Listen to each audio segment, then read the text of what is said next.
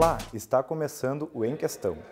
Hoje falaremos sobre o ato médico, sobre o programa Mais Médicos e sobre as alterações na grade curricular do curso de medicina, também propostas pelo governo federal.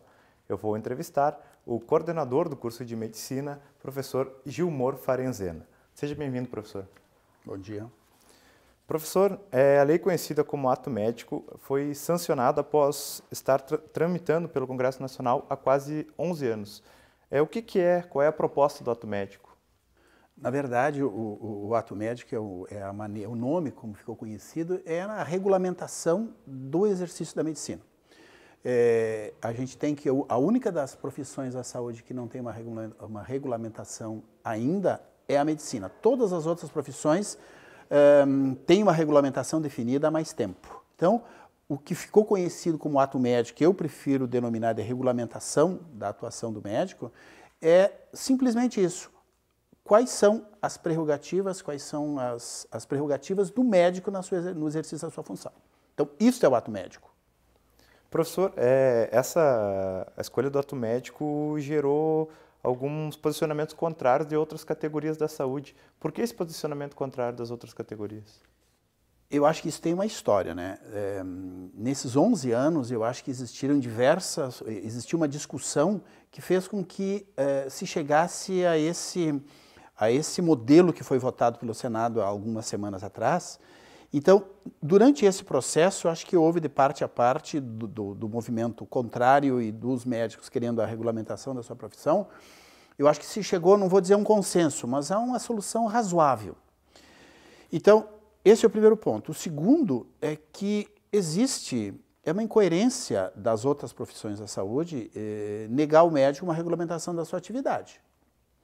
Terceiro, eu acho que existe um discurso ideológico por trás de tudo isso, né? porque existem atividades que historicamente são desempenhadas por médicos que são, são desempenhadas hoje até por outras profissões. Então, eh, existe também uma, uma, uma, luta por espaço profissional atrás de tudo isso, só que eh, eu reconheço que as outras profissões da saúde souberam transformar isso num discurso muito bonito, né? como se a regulamentação da medicina fosse levar a que os outros profissionais fossem prejudicados, quando que, na minha avaliação, é exatamente o contrário que se dá. Nós não temos regulamentação enquanto médicos, e as outras profissões têm regulamentação, e existem, evidentemente, algumas áreas que são áreas de embate mesmo, né? São áreas de, em que não fica muito claro de quem é a função. Professor, é, a presidente Dilma fez alguns vetos na aprovação do ato médico. Por exemplo, um deles é na aplicação de injeções, que ela falou que isso atrapalharia, inclusive, algumas políticas públicas do próprio SUS. Em cima disso, ela também é, disse que isso poderia causar algum inchaço na procura por médicos devido que as outras classes não poderiam executar esse tipo de função. O senhor acredita que é, isso traria um aumento maior, uma procura maior por médicos? É, mas eu acredito que a aplicação de injeções e outras coisas está muito bem definida aí, que não é uma isso evidentemente não é uma prerrogativa médica. Isso quem habitualmente faz isso é técnico de enfermagem ou enfermeiro, técnico de enfermagem, na verdade, né? Então, eu acho que, mais uma vez, eu acho que existe um discurso ideológico por trás de tudo isso para justificar. Por exemplo, existe um veto que eu estava vendo ontem, que a direção de serviços médicos não é uma prerrogativa dos médicos. Isso é, é uma, é um contrassenso, na verdade. Eu acho que existe muita ideologia. O discurso que foi feito é um discurso uh, uh, que aparentemente mobiliza as pessoas, quer dizer, se é, existe uma, uma, uma, uma, uma frase que diz assim, o ato médico ata-nos. Na verdade, isso é um discurso ideológico, isso não é real, não é verdadeiro. A única coisa que os médicos querem é a regulamentação da sua profissão, só isso. Professor, o que, que essa regulamentação da prática da medicina, da medicina traria de benefícios, de plano de carreira, de um, um contato maior com o Estado por parte dos médicos? Nada. Não existe uma coisa que não tem a ver com a outra. A regulamentação da profissão é como a regulamentação de qualquer profissão. Como a regulamentação de advogado, de enfermeiro, de engenheiro, quer dizer, é quais são as prerrogativas de uma determinada profissão. Isso não tem nada a ver com a atuação ou a nível privado, a nível público, são coisas separadas. Nada, a regulamentação é o que o nome diz, regulamentação. Quais são as prerrogativas do médico? Hoje, a gente não tem ainda, ou tem parcialmente com a aprovação e os vetos dessa lei. Professor, em cima do, do programa Mais Médicos, é, o governo lançou esse programa então há, há pouco tempo. E o que, que visa esse programa? Eu acho que visa dar uma resposta para as mobilizações que o país apresentou no mês de junho. Entende? Eu acho que é uma, não, não é nada além disso. Porque não me, é, não me parece razoável que o governo federal tenha descoberto nos últimos 40 dias que o, os problemas da saúde pública do Brasil se resumem à falta de médico. Quer dizer, eu acho que, na verdade, houve uma resposta política do governo e a forma mais fácil de implementar isso foi afirmar que existe, existem falta de médicos, que isso é uma discussão, quer dizer, isso não, não, não, não, não, se, não, se, não existe um consenso de que faltem médicos. O que a gente sabe é que existe uma distribuição muito inadequada de médicos. Isso evidentemente é verdadeiro. Existem regiões, uh, São Paulo, Rio de Janeiro e Brasília formam é, tem um número de médicos superior aos países desenvolvidos e outros locais é muito baixo. Então, existe uma distribuição desigual dos médicos no país. Mas, para voltar ao mais médicos, então, o que, que, o que, que a comunidade médica em geral acha? Quer dizer, as categorias profissionais, as categorias ligadas aos sindicatos, a formação, a, a Associação Brasileira de, de, de, de, Educação Médica, o que, que se coloca isso? Primeiro aspecto é que é absolutamente despropositado se fazer isso via medida provisória, porque a medida provisória é uma medida em situação de emergência.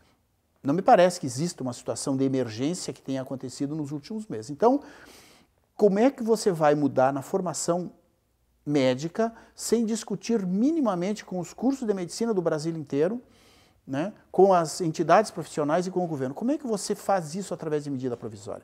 Quer dizer, isso é autoritário, antidemocrático e isso é uma medida que deveria ser utilizada em situações realmente de emergência ou de extrema urgência. Não é o caso. Segundo, uh, o mais médicos, uh, o problema então, o segundo, é a distribuição dos médicos que é, o, que é a questão. Por que é que os médicos estão mal distribuídos no Brasil? Qual é o motivo que leva com que os indivíduos procurem alguns lugares e não procurem outros? Isso deve ter um motivo. Isso não deve ser simplesmente um motivo econômico. Na grande verdade, o que se tem nos municípios em geral é uma péssima estruturação, uma péssima gestão, uma, uma, uma, uma colocação de recursos de maneira aleatória, que faz com que os municípios não tenham atratividade em termos salariais para o médico em termos de infraestrutura, em termos de exames laboratoriais simples, em termos de equipes de saúde. Então, é o segundo aspecto.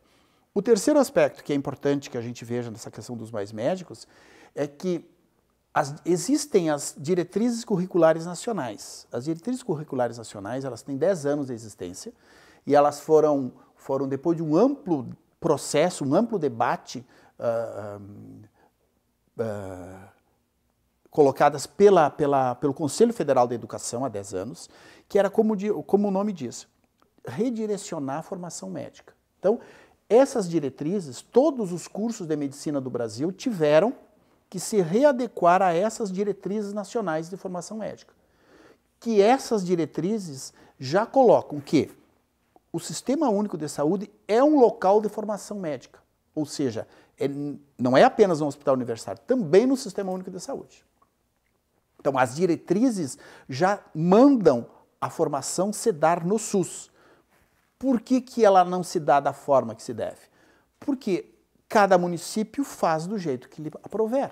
Então, quando a Federação Nacional dos Prefeitos diz que faltam médicos, faltam médicos em muitas cidades, evidentemente que faltam. Aí você vai ter que ver por que, que faltam, como eu anteriormente te relatei. Então, é um problema de estrutura também, que o governo federal não, não, não, nessas últimas décadas, não resolveu. Tanto não resolveu que quando da emenda constitucional para que 10% da educação, 10% da União fosse repassado para a saúde, a bancada do governo vetou e não foi aprovado. Por quê? Porque existe um problema de subfinanciamento do SUS crônico. Para a gente ter uma ideia, o Brasil uh, 55% dos recursos da saúde vem do sistema público e 45% do sistema privado no Brasil. Qual é a experiência dos países, até dos países que o próprio governo agora diz que se baseou, que é a Inglaterra? 70, quase 80% dos recursos são públicos. Então no Brasil é 55. Veja, o sistema privado de saúde é, trata de 25 da população, 25% da população brasileira.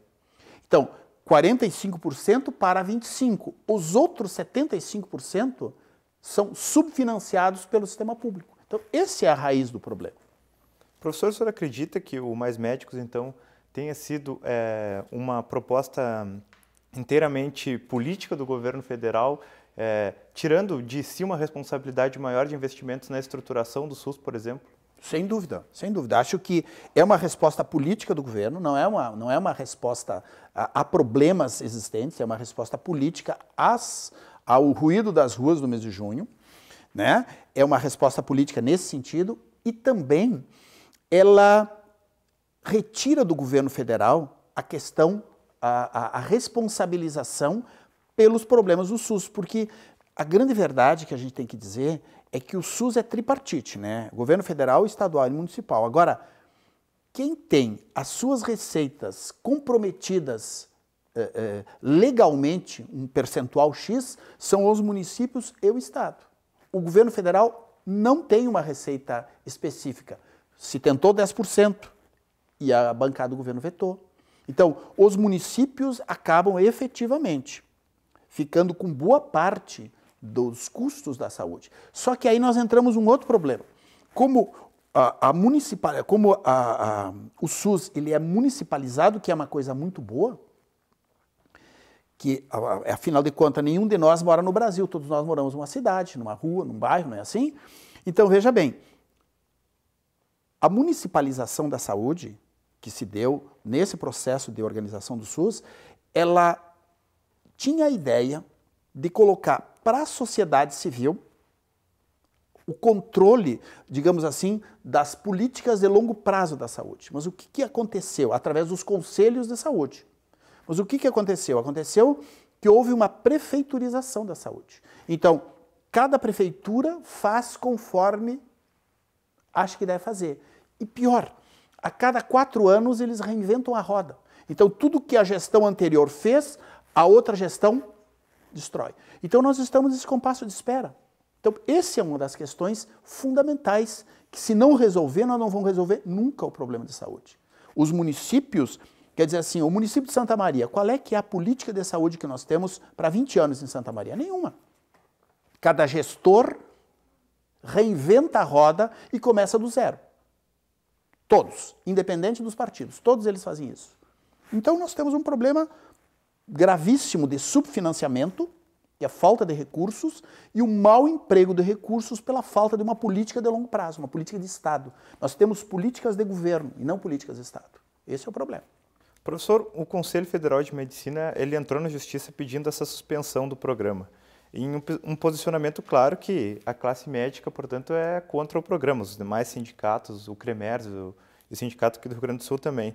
É, o senhor também acredita, o senhor também tem uma posição contrária a esse programa, é, a partir de que ponto?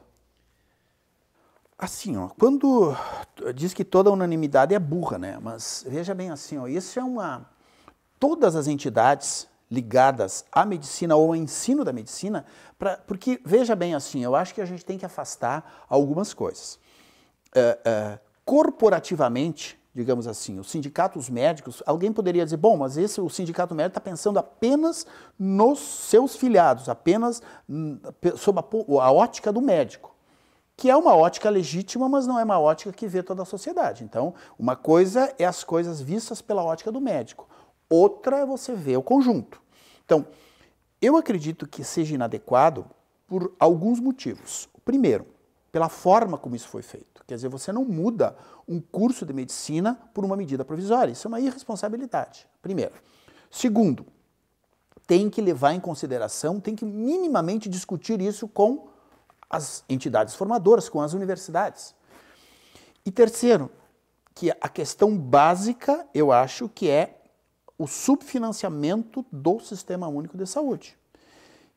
E uma outra, outra questão, não é através da obrigatoriedade do sétimo e do oitavo ano, que na verdade é, é, é, o sujeito não vai ser nem médico, não vai ser nem profissional, nem aluno. É, tem um professor da USP que diz que isso é, é, é, ele não é nem profissional e nem médico. O que, que ele é, afinal de contas? Qual é a responsabilidade que ele tem? Né?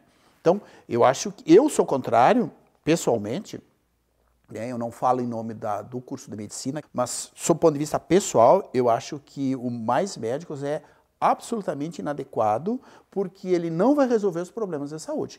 Talvez, e volto a dizer, eu falo isso sob o ponto de vista pessoal, dentro de um, de um movimento de mudanças maiores, talvez até coubesse efetivamente que nós tivéssemos uma obrigatoriedade de um, de um, de um ano a mais, enfim, isso poderia ser discutido, mas não dessa maneira autoritária.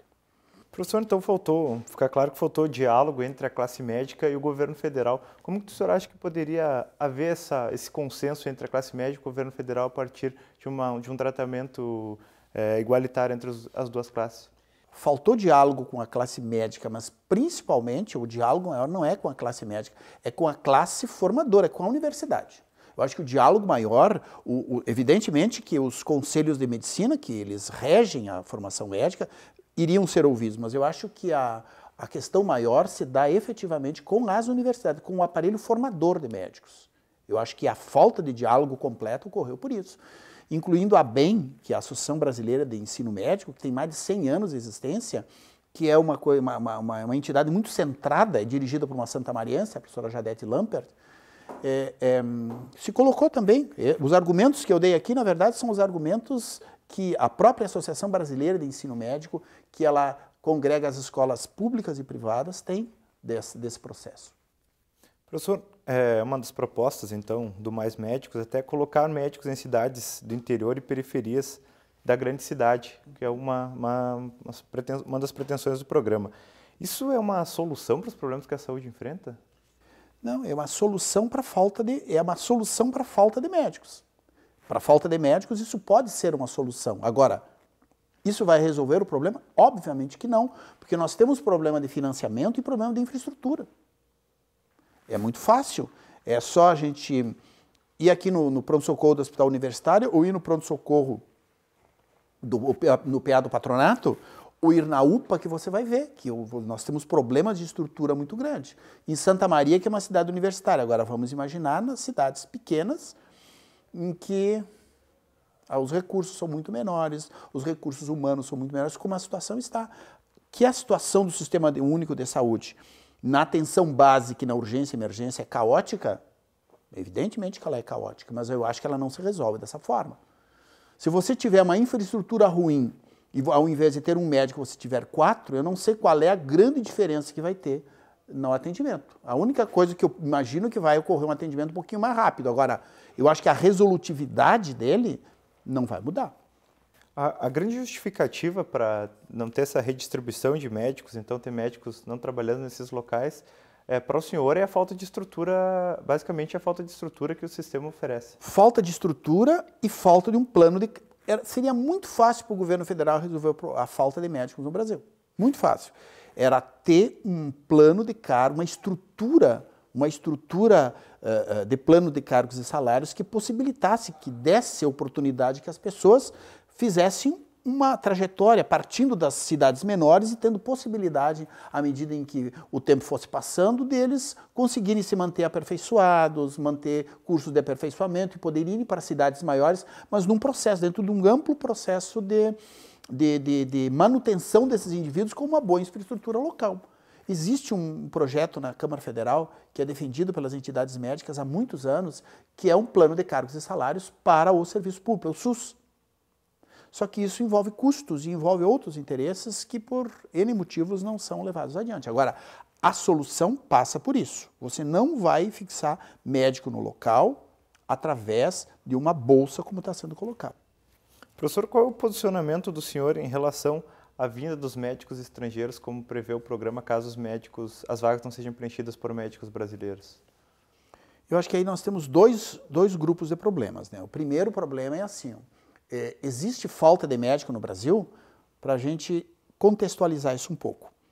Nos últimos 10 anos foram criadas mais ou menos quase 100 escolas de medicina no Brasil. Né? Então, nós duplicamos, nós, nós, praticamente duplicamos. Hoje nós temos 200, 202 escolas de medicina no Brasil. E não melhorou a distribuição dos médicos. Por quê? Porque o problema não é número.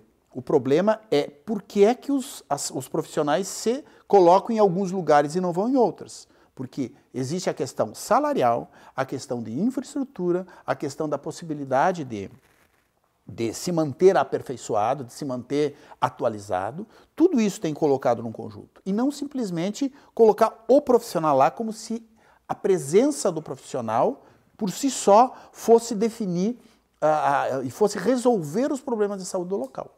Então, esse é o primeiro, é um, um aspecto que tem que ser, eu acho que tem que passar ao redor disso. Veja. Então, segundo aspecto, todos os países do mundo aceitam estrangeiros e nós devemos aceitar também.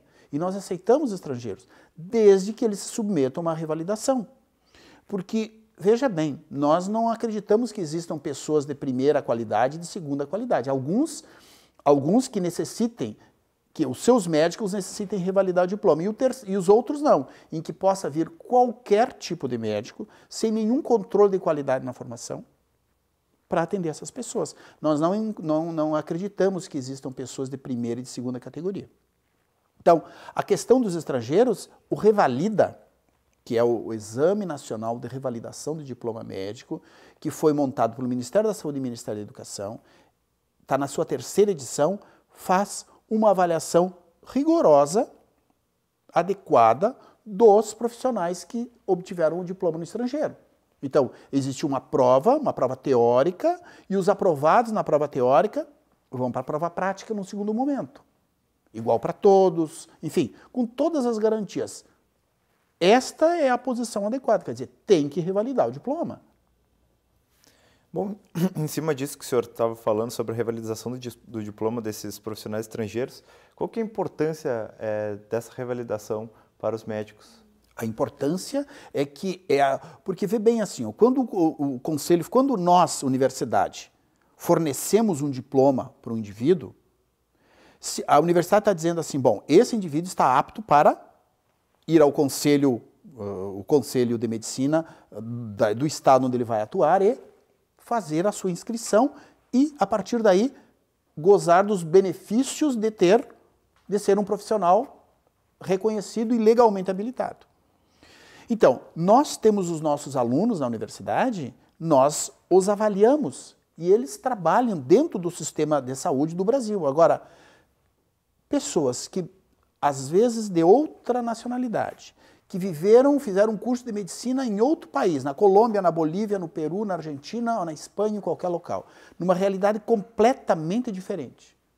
Como é que eles estarão aptos a trabalhar dentro da realidade do Brasil, se não através de uma avaliação que meça isso. Qualquer lugar do mundo é assim. Ninguém chega para exercer qualquer profissão em outro país gra graciosamente. Então a pessoa tem que se submeter a uma avaliação. Isso é tão verdadeiro, nós somos amplamente favoráveis à revalidação do diploma, que esse processo de revalidação, que chama Revalida, que eu falei agora que ele estava na terceira edição, Nesse ano de 2013, em agosto, dia 18 de agosto, o mesmo exame que é aplicado nos uh, estudantes estrangeiros ou brasileiros que fizeram um curso no exterior é aplicado para revalidar seu diploma, ao mesmo tempo, esse ano, nós, a, o INEP né, vai aplicar esta mesma prova numa amostra estratificada representativa da, dos estudantes de medicina do Brasil, porque uma ala do governo começou a, a, a, dizer que esse não era um exame validado, então que era muito difícil, que era um exame feito pelo próprio governo, né, pelo Instituto Anísio Teixeira, o INEP, é, era feito de uma forma tão, tão difícil que ninguém passava. Então nós vamos fazer o mesmo exame esse ano nos dois grupos, nos estrangeiros e nos nossos estudantes. A UFSM, inclusive, vai participar. Professor, os cursos de medicina em 2015, então, passaram a ter oito anos, como a gente é, falou agora há pouco, sendo que os dois últimos anos é, os acadêmicos irão atuar na rede do SUS. Isso, como isso beneficiará ou prejudicará os alunos, na sua opinião? Olha, na verdade, eles vão ficar dois anos no limbo, né? Para usar, já que o Papa está no Brasil, a nomenclatura católica nem no céu nem no inferno. Ele não vai ser nenhuma coisa nem outra. O que, que ele vai ser? Ele não é formado, mas ele, não, ele é aluno que vai ficar sob supervisão muito. Onde se sabe a supervisão vai ser feita por um professor por estado. Então, no Rio Grande do Sul, ele teria uma supervisão de mil. Esse sujeito supervisionaria mil pessoas eu acho uma supervisão muito.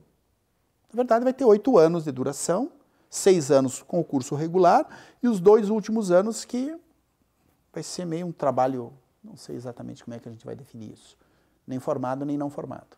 Professor, pois é, é, conversando com alguns alunos do curso de medicina, a principal dúvida que surgiu é, com, com relação a eles é exatamente se ao invés de ficar quatro anos no internato, que eles já trabalham os dois anos diretamente ligados. Não, eles ficam quatro semestres no internato, quatro dois semestres. anos, o quinto e o sexto ano. Pois é, mas agora com, mais dois anos eles ficariam quatro anos. Sim, quatro anos no internato. Dois, do, dois anos no internato, do nono ao décimo segundo, e do décimo terceiro ao décimo oitavo? Décimo sexto. Décimo sexto, eles vão ficar trabalhando nas unidades básicas e na urgência e emergência. É, existe alguma possibilidade, segundo a dúvida deles, de se ter é, um período maior de aulas a partir dessa mudança? Se ter um ano, por exemplo, mais de aulas com, com uma ligação direta em clínica, cirurgia, por exemplo? Não, não é a proposta que está sendo colocada. Vê bem, então isso é uma coisa tão surreal. É, é só no Brasil que acontece uma coisa desse tipo, que se muda um curso de graduação em 30 dias. Então nós não sabemos nada. Nós só sabemos que o curso vai ter oito anos e que o sétimo e oitavo ano vai ser realizado nas unidades básicas de saúde, na atenção primária à saúde, na urgência e emergência e nas unidades de pronto atendimento. Nós não sabemos absolutamente mais nada. Eu agradeço a presença do professor Gilmar Farenzena, que é coordenador do curso de medicina. Obrigado. Eu que agradeço a oportunidade. Bom, o Em Questão de hoje vai ficando por aqui.